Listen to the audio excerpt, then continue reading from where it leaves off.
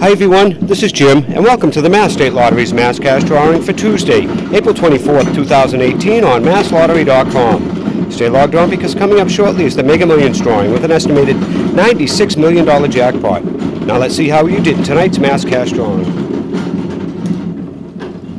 Ah, first number up is number 2. Following that we have number 30. And here comes number 1. Up next is 18. And the final ball in the sequence is number 12. Once again, the winning mass cash numbers for Tuesday, April 24th are 1, 2, 12, 18, and 30. Remember to log on to masslottery.com, Facebook, and Twitter to watch all of the Mass State Lottery's drawings. Good night.